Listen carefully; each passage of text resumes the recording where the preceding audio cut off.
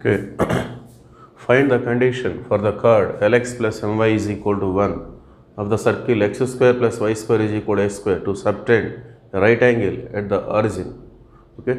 So, given circle illa x square plus y square is equal to a square given circle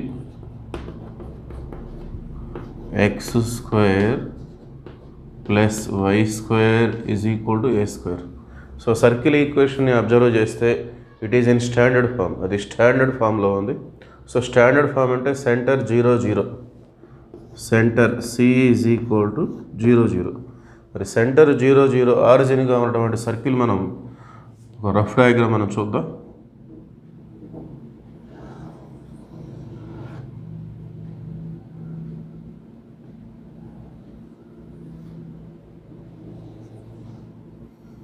So this is the center which has the coordinates 0 0. Okay, x axis, y axis. So ఇప్పుడు ఈ సర్కిల్ని ఒక chord అనేది cut చేస్తుంది ఒక straight line cut చేస్తుంది. Find the condition for the chord L X plus M Y is equal to one of the circle chord of the circle మరి chord అంటే ఒక స్ట్రైట్ లైన్ ఒక సర్కిల్ని రెండు పాయింట్స్ దగ్గర కట్ చేస్తే for example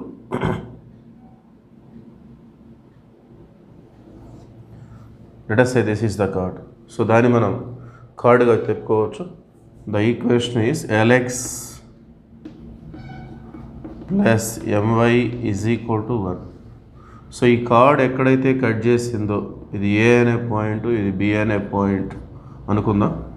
సో ఆ points దగ్గర నుండి ఆరిజిన్కి డ్రా చేసినటువంటి లైన్స్ సో ఆరిజిన్ మనం ఓ అనుకుందాం. అది ఆరిజిన్ కాబట్టి మనం దాన్ని ఓ సో సెంటర్ని ఓగా డినోట్ చేద్దాం. O zero comma zero. Okay. So ఈ కార్డ్ ఎక్కడైతే కట్ చేసిందో సర్కిల్ని ఆ కట్ చేసిన పాయింట్స్ దగ్గర నుండి ఆరిజిన్కి డ్రా చేసినటువంటి లైన్స్ అంటే O A O B so మన ప్రాబ్లం ఏంటి? Find the condition for the chord L X plus M Y is equal to one of the circle to subtend right angle at the origin. ఈ chord అనేది origin దగ్గర right angle చేస్తుందని చూపించాలి. So అందుకోసం మనం ఏం చేయాలి? సో ఈ కార్డ్ ఎక్కడైతే సర్కిల్ కట్ చేస్తుందో ఆ పాయింట్స్ దగ్గర నుండి రెండు స్ట్రైట్ లైన్స్ మనం ఆరిజిన్కి డ్రా చేసినట్లయితే వాటి మధ్య ఉన్న యాంగిల్ మనం రైట్ యాంగిల్ అని ప్రూవ్ చేసినట్లయితే then the problem is completed okay so అది మనం ప్రూవ్ చేయడం కోసం మనకి combined equation of O A and O B కావాలి. Combined equation of O A and O B so అందుకోసం మనం ఏం చేస్తున్నాం అనేది మనం చూద్దాం. సో గివెన్ సర్కిల్ని మనకి ఈక్వేషన్ వన్గా తీసుకుందాం. Given chord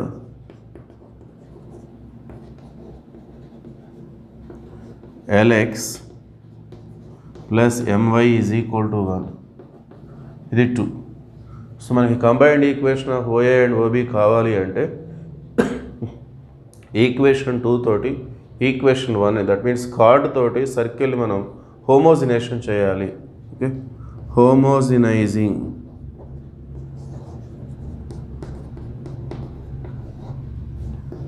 equation one with equation two equation one అని ఈక్వేషన్ టూ తోటి హోమోజినేషన్ చేయాలి. మరి హోమోజినేషన్ చేయటం అంటే అర్థం ఏంటంటే ఇక్కడ ఉన్నటువంటి ఈ సర్కిల్ ఈక్వేషన్లో మనకి త్రీ టర్మ్స్ ఉన్నాయి.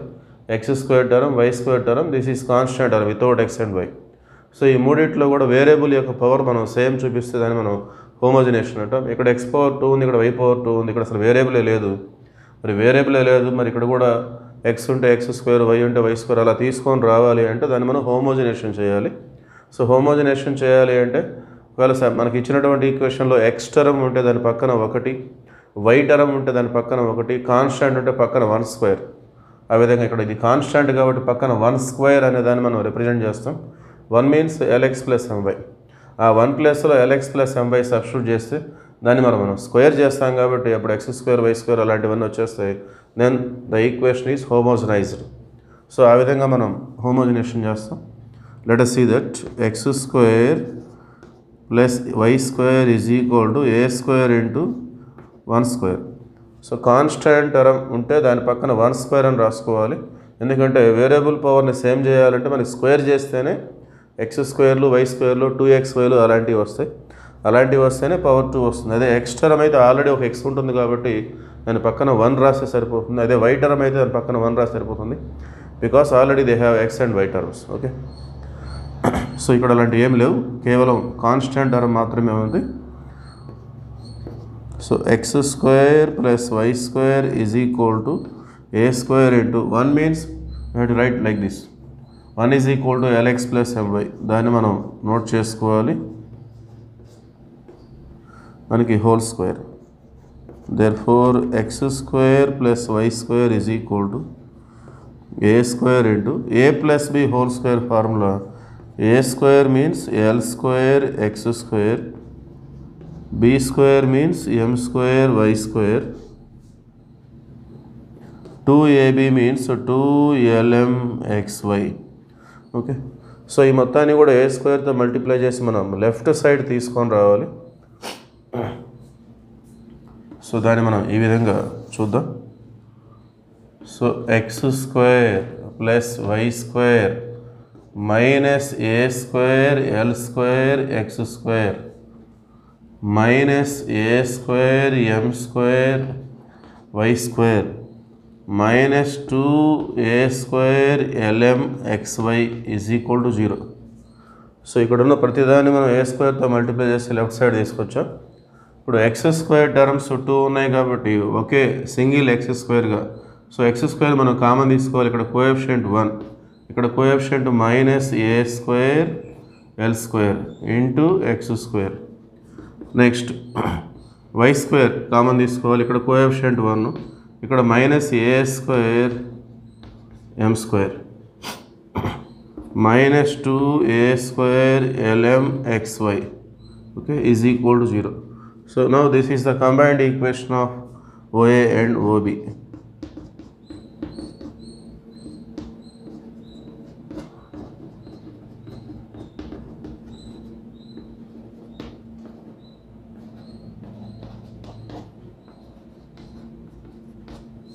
so OA OB combined equation వచ్చింది.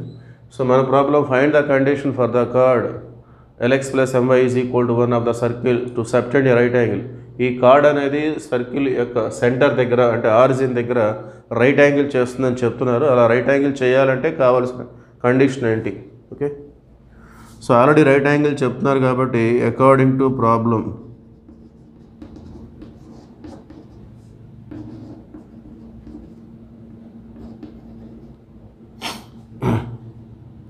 a plus b is equal to zero okay so ఈ combined equation of OA and ఓబీలో ఇది.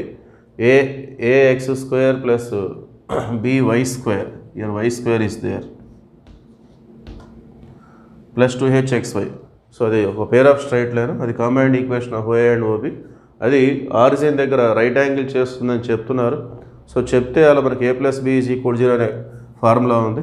అంటే coefficient of x square a means coefficient of x square నేను a x square plus b y square plus two h x y ఆ విధంగా compare చేసుకుంటే so a means x square coefficient one minus a square l square b means coefficient of y square one minus a square m square is equal to zero so one plus one two is equal to a square l square a square m square right side వస్తే a square into l square m square. Therefore, finally, the condition is a square into l square plus m square is equal to 2. This is the required condition.